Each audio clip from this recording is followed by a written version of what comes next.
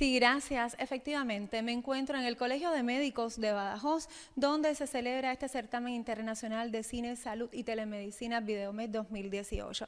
A mi lado tengo a Joaquín González Moya, quien es el secretario del comité organizador de Videomed.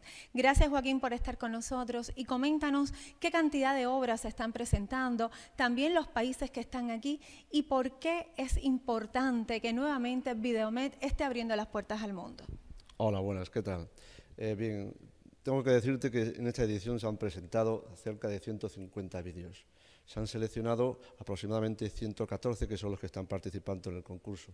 Vienen de distintos países.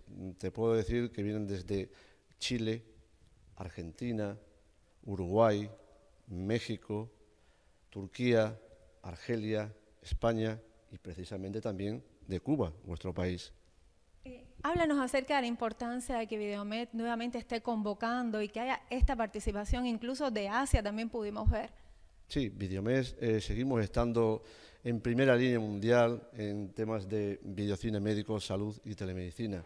Es el único certamen que queda a nivel internacional en el cual los autores, productores, realizadores presentan sus trabajos mm, después de un paréntesis de dos años que han estado ahí eh, y traen todas aquellas eh, nuevas técnicas que surgen en la, medicina y las ponen a disposición tanto de los estudiantes universitarios como también de los médicos en general. Sí, porque importante, Videomed tiene una videoteca que pone al servicio de aquel que esté interesado estos materiales, algo muy útil para la vida y para la enseñanza.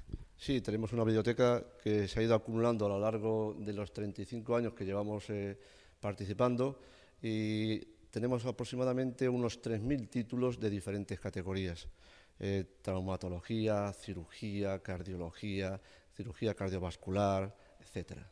Bueno, muchísimas gracias Joaquín por esta exclusiva para el sistema informativo de la televisión cubana. A ustedes amigos les invitamos a que continúen siguiéndonos de cerca porque en próximos espacios estaremos ofreciendo más información desde aquí, desde Badajoz, donde se celebra Videomed 2018. Ahora devuelvo la señal a los estudios centrales.